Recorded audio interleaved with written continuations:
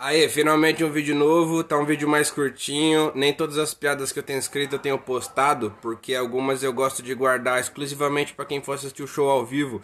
Eu vou fazer meu show solo em alguns estados esse ano, e quando eu tiver as datas certinho com os links eu vou divulgando por aqui. É, mês que vem eu vou fazer show em Palmas, Tocantins pela primeira vez, e vou fazer meu solo em São Paulo.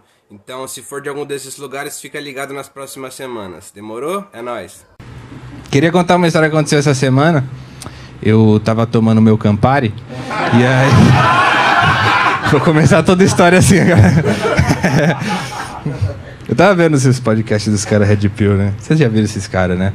Pra quem não viu, é, é um grupo de jovens é, de direita que são coaches de relacionamento, basicamente, e eles se denominam macho alfa. Eles usam esse, esse termo, alfa. Que eu não sei exatamente o que que é, eu só sei que eu não sou.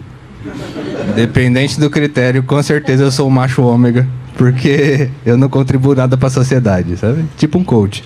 É, a diferença é que eu assumo publicamente.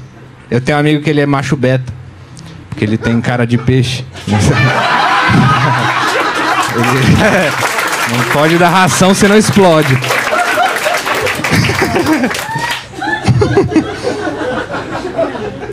Muito doido esse papo, mano. Eu vi essa semana o corte da mulher falando assim. É, como é que era que ela falou? A mulher não pode pedir pro homem lavar louça, porque senão ele vai ter características femininas. Ela tá castrando o homem. Primeira coisa que eu pensei foi, mano, e os caras que moram sozinhos? No prato de plástico sempre? Tem que ligar pra mãe dele falar, mãe, precisa dar uma colher. Precisa... Não sei, mano. É, eles se chamam de Red Pill por causa do filme do Matrix, né? Que aí quem toma pela vermelha despluga da Matrix e vê a verdade. E eles enxergaram a verdade, né? E essa verdade é de que o amor materno faz falta. Porque. Que doideira esse papo, mano. Eu, eu, fico imaginando, mano, quem é que faz o curso desses caras? Tipo, você consegue imaginar a pessoa clicando no link, se inscrevendo no curso? Tipo, o cara tá formando uma legião de mamães falês, né? Tipo, o paraninfo da formatura é o Daniel Alves, né? é o tipo.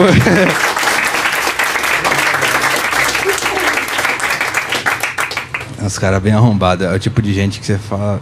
Dá, dá, vontade de falar, Deus, por que, que você fez assim? Eu acho que Deus ia responder, ah, eu tava tomando um Campari. E aí...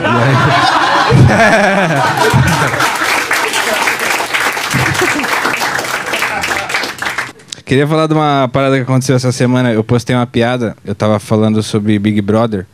E aí eu falei sobre a Kay Alves, que para quem não sabe é uma jogadora de vôlei que contou que ela tem pesadelos com o Michael Jackson. Claro que tipo, ela não é a única, né?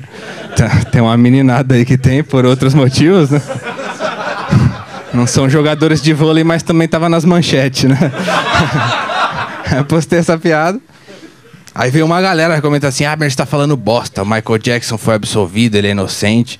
E, mano, ele contava nas entrevistas que dormia na mesma cama que os moleques. O, o, o, pai deles na, no quarto do lado, ele no quarto com os moleques, com câmera e alarme sonoro na porta.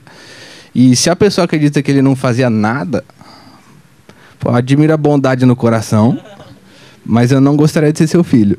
Porque as pessoas não param para pensar nesse assunto, né? Tipo, a questão é que ele não era uma pessoa violenta, agressiva, que pegava a criança pelo braço, vem aqui que eu vou arrancar suas pregas com o dente. Não era assim.